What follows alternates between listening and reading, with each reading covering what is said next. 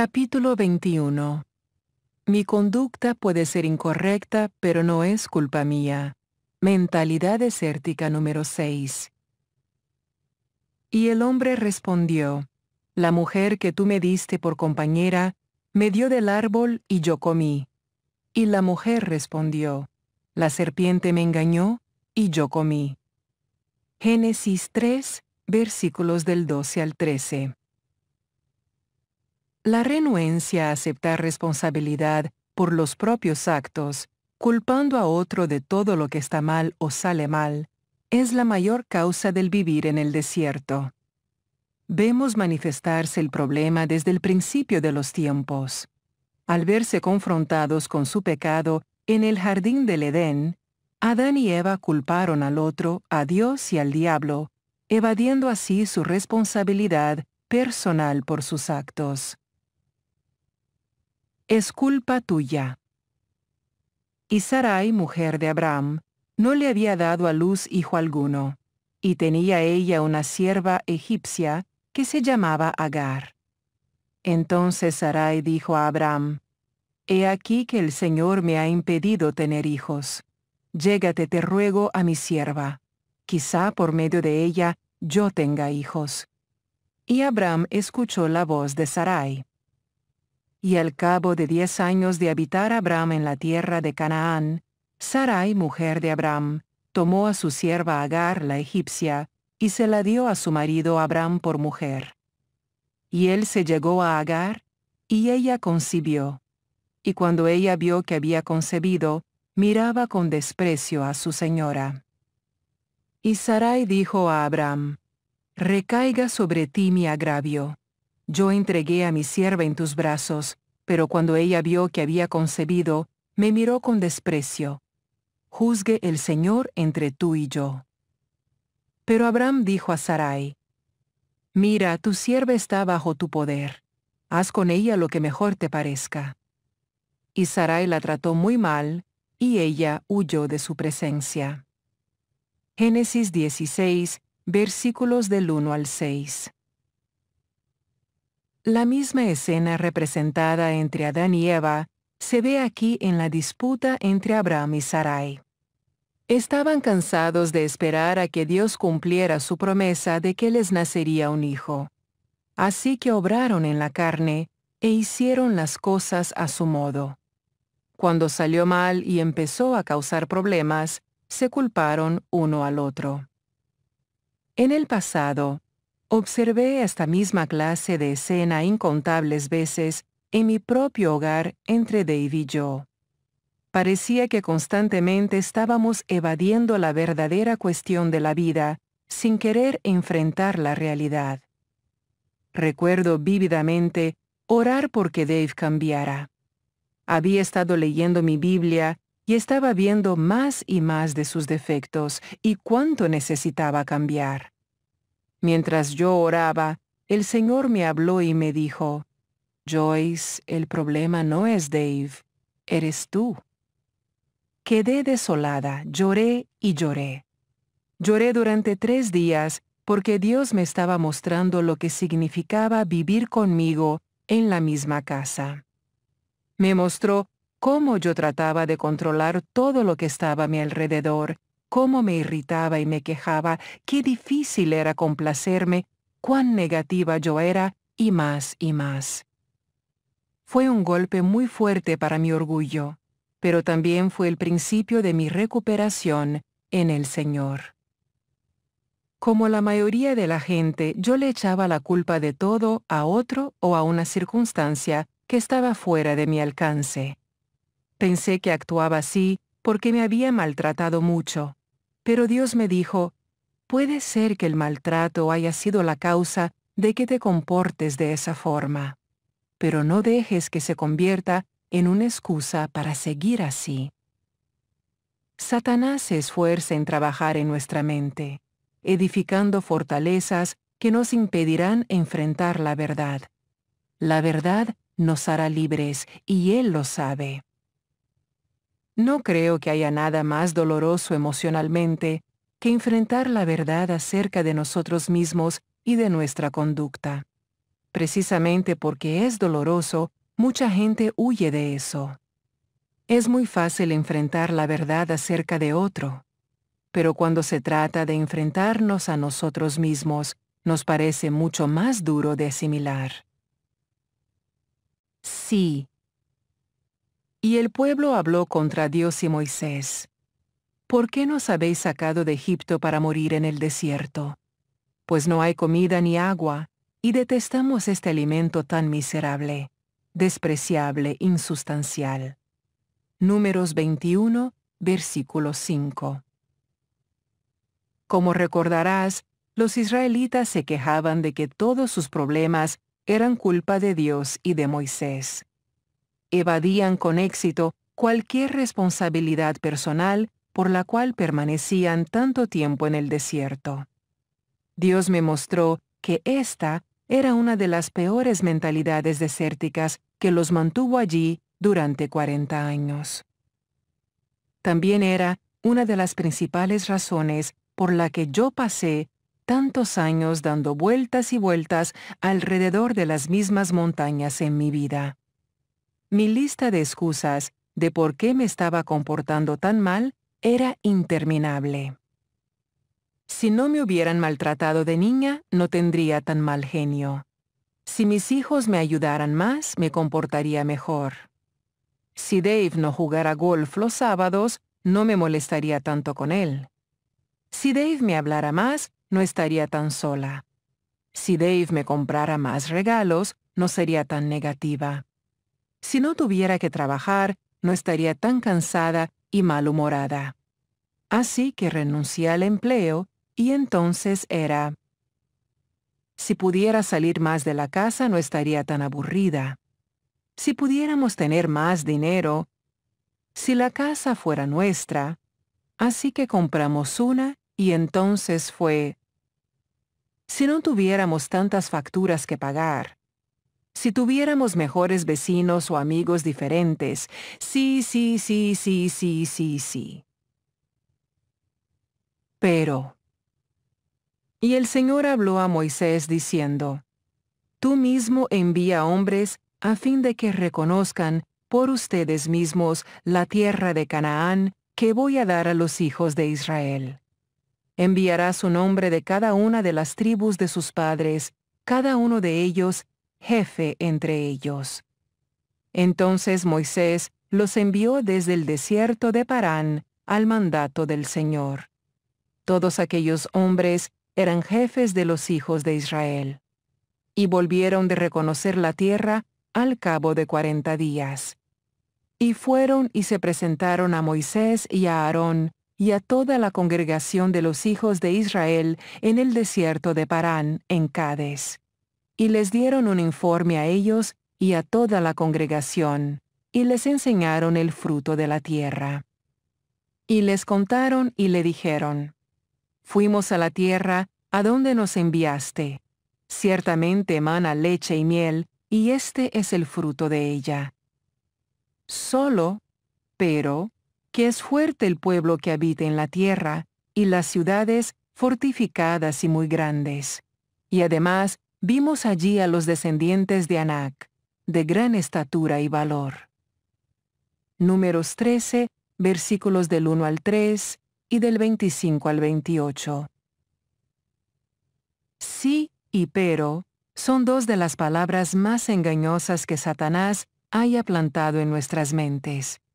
Los doce espías, que fueron enviados adentro de la tierra prometida como una partida de exploradores, volvieron con un racimo de uvas tan grande que tenían que llevarla entre dos con un palo. Pero el informe que le dieron a Moisés y al pueblo fue negativo. Ese fue el pero que los derrotó. Debían haber mantenido sus ojos en Dios y no en el problema potencial.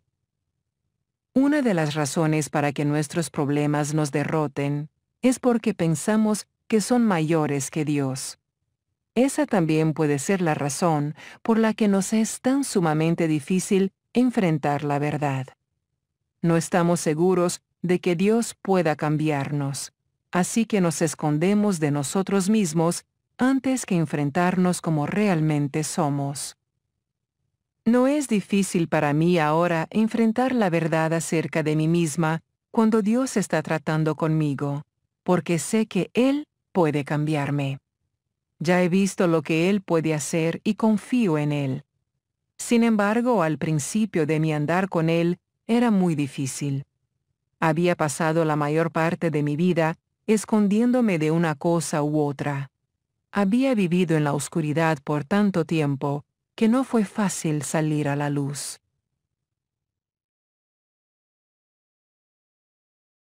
La verdad en lo más íntimo del ser. Ten piedad de mí, oh Dios, conforme a tu misericordia. Conforme a lo inmenso de tu compasión, borra mis transgresiones. Lávame por completo y constantemente de mi maldad, y límpiame de mi pecado. Porque yo reconozco mis transgresiones y mi pecado está siempre delante de mí.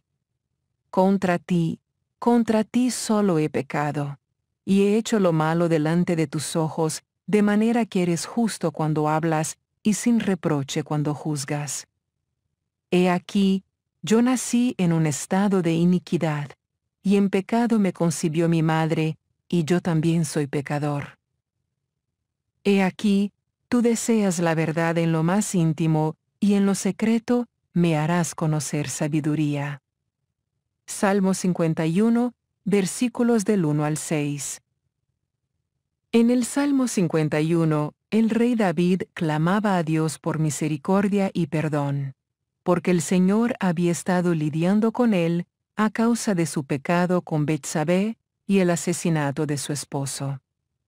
Créalo o no, el pecado de David había tenido lugar todo un año antes de escribirse este salmo, pero él jamás lo había enfrentado ni reconocido en realidad. Él no estaba enfrentando la verdad, y en tanto se negara a enfrentarla, no podía arrepentirse de veras. Y mientras él no pudiera arrepentirse verdaderamente, Dios no podía perdonarlo. El versículo 6 de este pasaje es una escritura poderosa. Dice que Dios desea la verdad en lo más íntimo del ser. Eso significa que si deseamos recibir las bendiciones de Dios, tenemos que ser honestos con Él acerca de nosotros mismos y de nuestros pecados. La confesión precede al perdón. Si decimos que no tenemos pecado, rehusando admitir que somos pecadores, nos engañamos a nosotros mismos y nos apartamos, y la verdad que presenta el Evangelio no está en nosotros, no mora en nuestros corazones.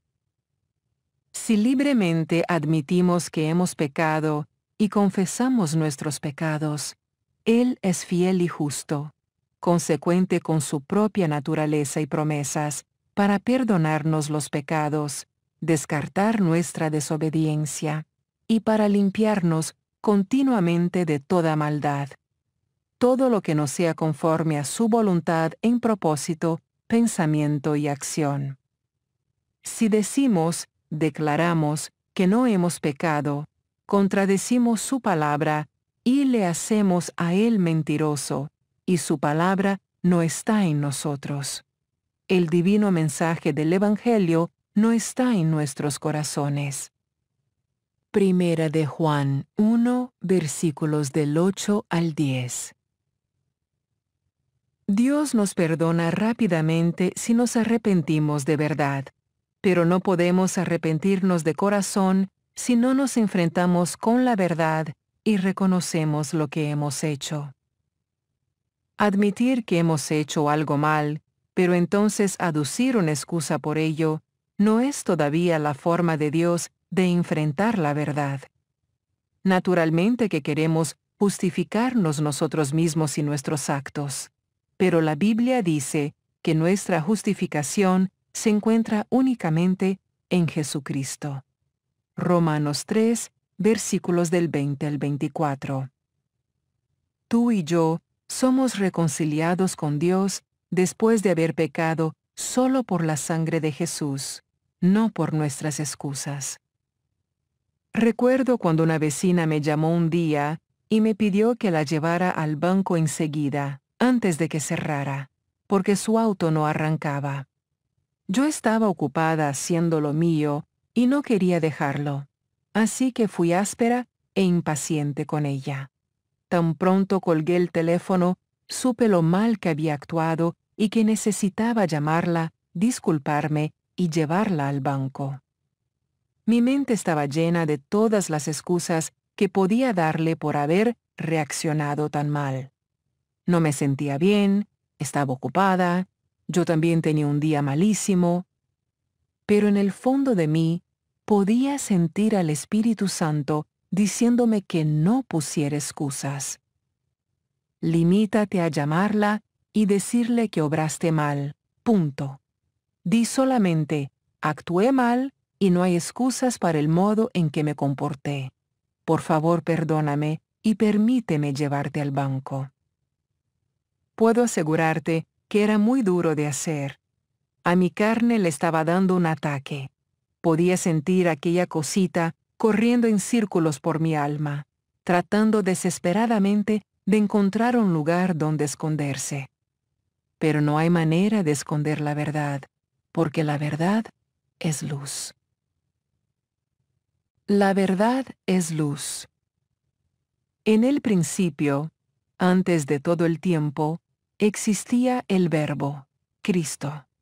Y el Verbo estaba con Dios, y el Verbo era Dios. Él estaba en el principio con Dios. Todas las cosas fueron hechas por medio de Él, y sin Él nada de lo que ha sido hecho fue hecho.